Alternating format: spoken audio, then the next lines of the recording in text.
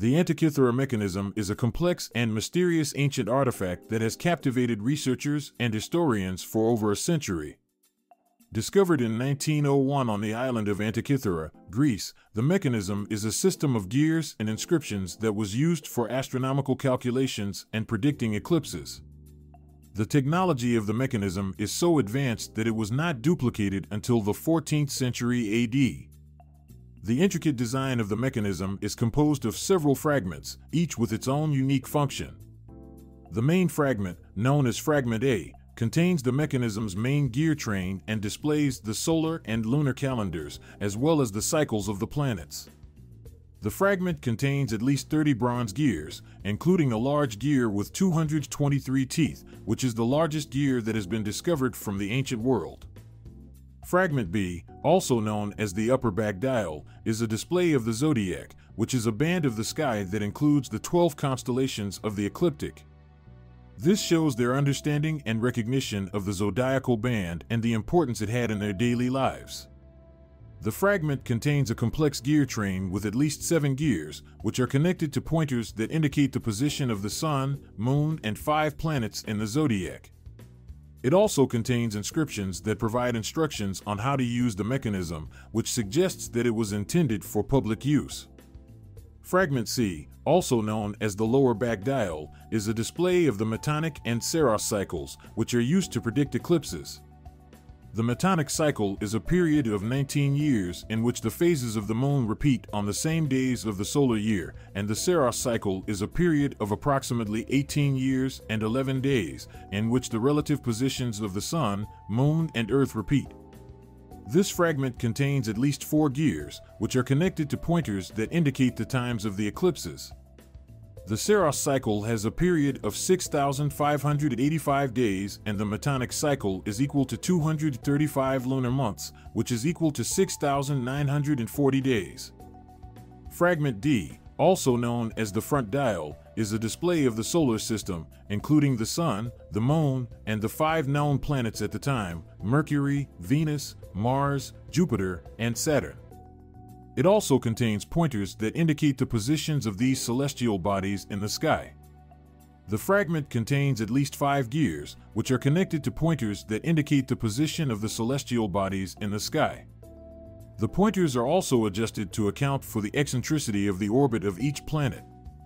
Fragment E, also known as the right-hand dial, is a display of the lunar phases, which is the different appearance of the moon as seen from Earth due to the relative positions of the moon, Earth, and Sunday. This fragment contains at least three gears, which are connected to pointers that indicate the position of the moon in its orbit around Earth.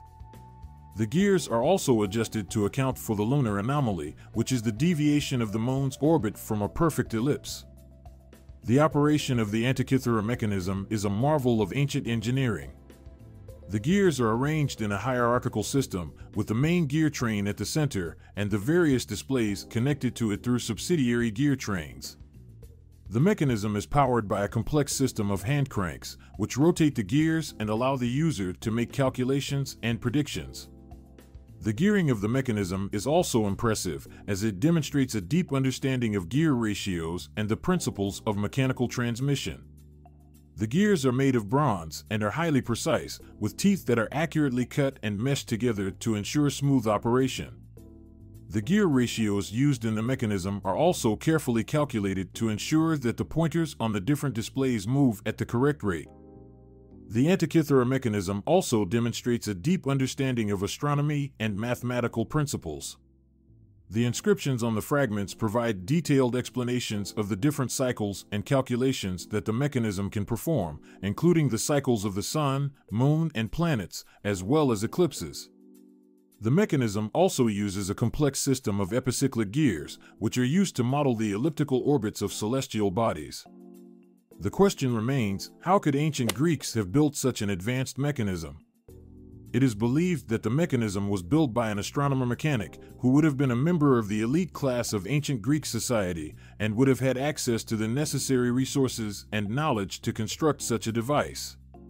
It is also possible that the mechanism was built by a team of experts working together to create this masterpiece of ancient technology. It is important to note that the Antikythera mechanism is not an isolated discovery, but rather it is part of a larger tradition of ancient Greek technology.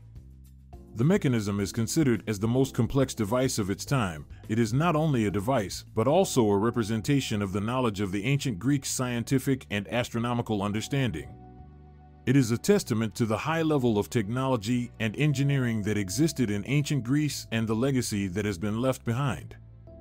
The intricate design, advanced gearing, and precise inscriptions all attest to the deep understanding of astronomical and mathematical principles that the ancient Greeks possessed.